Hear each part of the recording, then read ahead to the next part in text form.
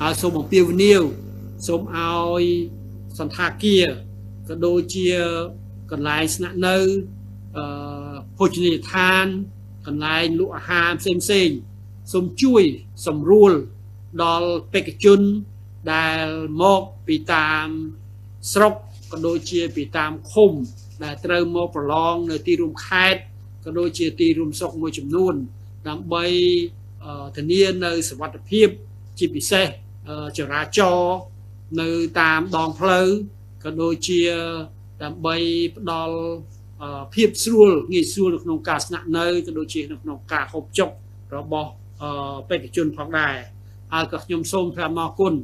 ដល់សហភាពសហព័ន្ធយុវជនកម្ពុជា ដែលជួយសម្រួលដល់កន្លែងស្នាក់នៅ សម្រាប់សម្រួលដល់កន្លែងស្នាក់នៅក៏ដូចជាកន្លែងទុកដាក់កង់ម៉ូតូនៅក្រៅមណ្ឌលប្រឡង ហើយក៏សូមថ្លែងអរគុណដល់ទូអង្គសំខាន់សំខាន់ដែលចូលរួមនៅក្នុងការសង្កេតការការប្រឡងដូចជាអង្គភាពប្រឆាំងពើពុករលួយក៏ដូចជាជំនួយការប្រមាថ